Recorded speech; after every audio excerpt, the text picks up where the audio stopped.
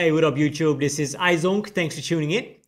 Now, with the Street Fighter 6 beta being open again, I finally have the opportunity to make this video that I already wanted to make, where I'm going to test my can setups in the corner for Kimberly. Now, when Kimberly does the run slide in the corner, she can tack on some more damage by doing the medium Tatsu.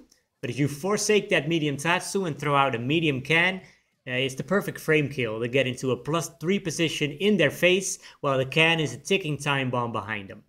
Now, Ryu here has to make the decision in the corner. So let me show you what happens.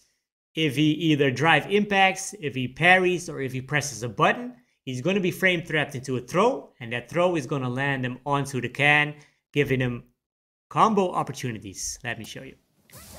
So here, run, slide, throw the can, we're plus three, and he lands there on the can. I do the Tiger Knee command for the EX air throw. And I go into the massive damage for the big combo, right? 4,500 damage if I recall. Yeah, that's right. So that's nice, right?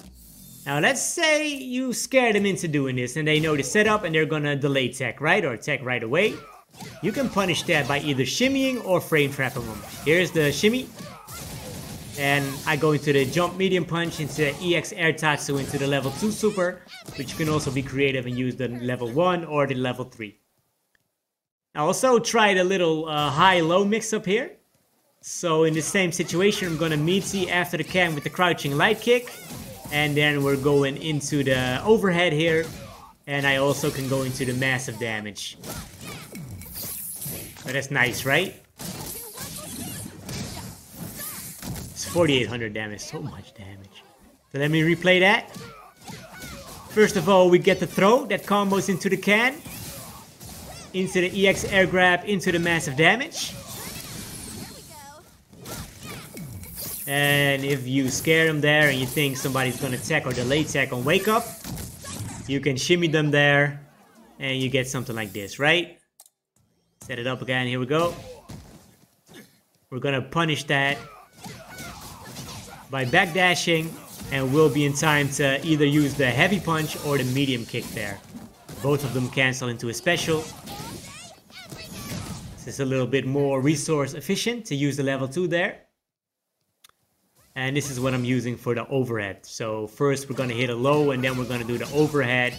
That low into the overhead of course is not frame tight. It's something like uh, Cody's pipe setup where you do a crouching light kick into the overhead that combos into the rock. You guys remember that, right? Street Fighter 5. So what do you guys think about that setup? Do you have anything else you can use? If you found something you can use mid-screen with the cans, please let me know in the comments, because right now I only have ammo to use in the corner. Hope you liked this video, subscribe to the channel, and I'll talk to you soon, alright? Thanks for watching. Peace.